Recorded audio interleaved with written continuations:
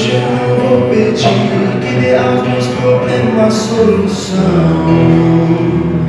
Não quero insistir